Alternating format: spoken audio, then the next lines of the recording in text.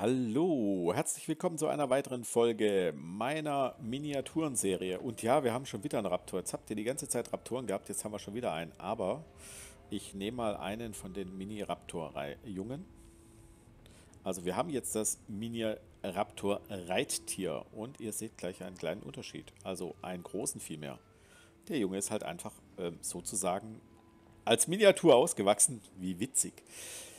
Und ähm, den gibt es halt auch nur in dieser Färbung. Ähm, ja, und er ist bei Erhalt Account gebunden.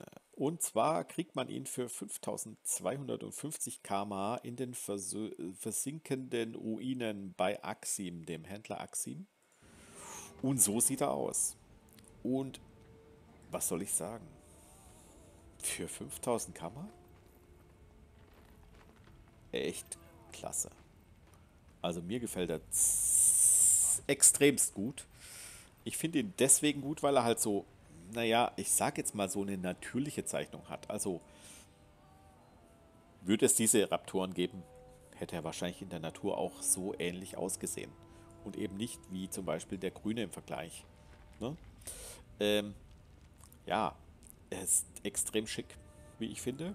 Er hat eine ordentliche Größe, also im Gegensatz eben zu den, Mini, zu den Jungen, aber ich meine, es waren halt auch Junge, also die sind halt auch einfach kleiner, ist ja logisch irgendwie.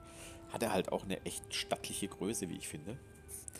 Ähm, sehr schick, für wenig Karma zu bekommen in den versinkenden Ruinen äh, bei Axim, dem Händler. Was will man mehr dazu sagen? Er ist accountgebunden, das heißt, man kann ihn also nicht im äh, Handelsposten kaufen. Man muss halt das Karma wirklich investieren. So ist das nun mal mit accountgebundenen Sachen.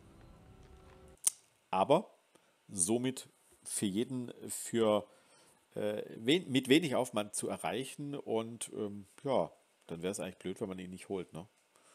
Bis dahin, euer Kubaner. Ciao.